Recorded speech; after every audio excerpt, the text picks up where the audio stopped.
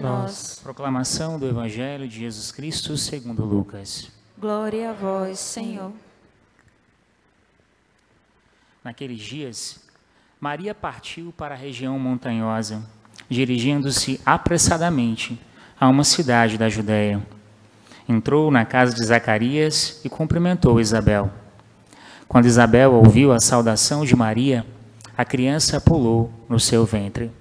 E Isabel ficou cheia do Espírito Santo.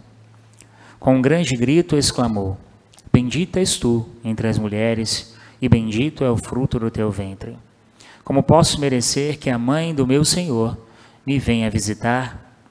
Logo que a tua saudação chegou aos meus ouvidos, a criança pulou de alegria no meu ventre. Bem-aventurada aquela que acreditou, porque será cumprido o que o Senhor lhe prometeu. Palavra da salvação. Glória a vós, Senhor.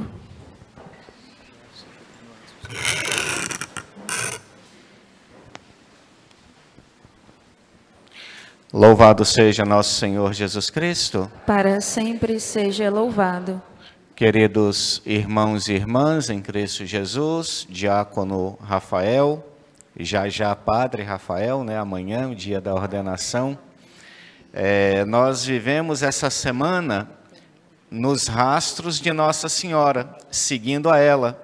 É ela que vai nos introduzindo no mistério de Cristo. E aqui aparece algo muito belo, uma imagem, um fato que aconteceu, no entanto, que simboliza uma realidade muito bela. Maria é a arca da nova aliança. E Maria, arca da nova aliança, ela é a portadora da misericórdia. No Antigo Testamento, o rei Davi, ele fez com que a arca saísse de Siló e fosse para Jerusalém. A arca então subiu montanhas. Aqui a Virgem Maria sobe da Galileia para as montanhas de Judá. Qual é a semelhança entre a Arca da Aliança e a Virgem Maria? Na verdade, a Arca da Aliança prefigura a Virgem Maria, porque a plenitude se realiza nela, na mãe de Jesus. A Arca da Aliança, ela trazia em si três realidades de muito valor, fundamentais para a fé judaica. Eram as tábuas da lei, a Torá, era também a vara, o cajado, que representava o sacerdócio de Arão, e ela também tinha em si o maná, que era o pão descido do céu, que alimentou o povo na caminhada no deserto. Palavra de Deus, sacerdócio, e alimento celeste. É o que trazia a arca de Siló para Jerusalém. E a Virgem Maria traz em si quem?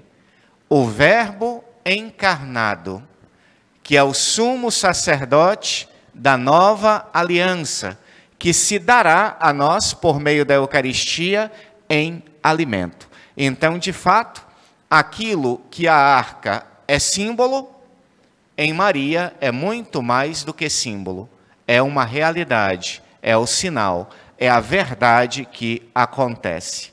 E essa verdade, expressa por meio da Virgem Maria, é a comunicação da misericórdia a todos os homens. Nesse texto breve, são sete versículos.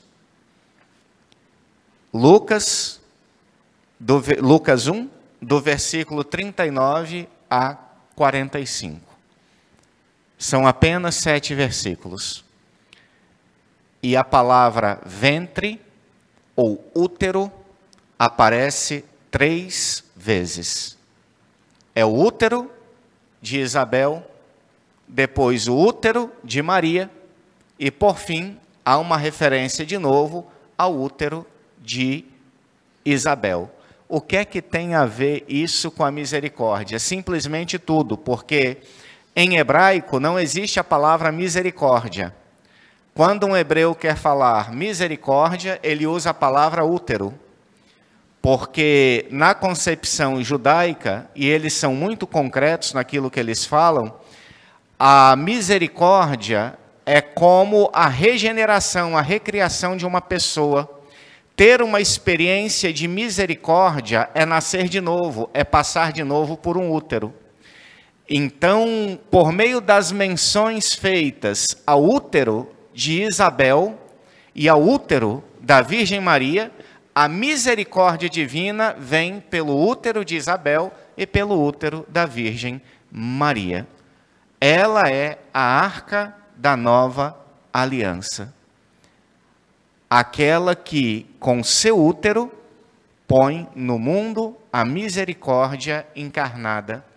Aquele que vem adocicar o mundo, aquele que vem amorizar o mundo, aquele que vem tornar todos os homens irmãos por meio do amor, por meio da reconciliação, por meio do perdão, por meio da misericórdia. Hoje, então, queridos irmãos, nós somos convidados a contemplar o mistério de Cristo por meio da Virgem Maria, e eu diria de modo ainda mais específico, por meio do útero da Virgem Maria. Aquele útero que veio de Nazaré, da Galileia, subiu a Jerusalém, subiu a Judá, foi lá na casa de Isabel para comunicar a alegria, para comunicar o Espírito Santo, para comunicar a misericórdia que gera no outro paz e alegria. Nos confiemos então à Virgem Maria, contemplemos o sumo sacerdote que está no seu ventre, no seu útero, e recebamos dele, queridos irmãos, paz, alegria e misericórdia. Louvado seja nosso Senhor Jesus Cristo. Para sempre seja louvado.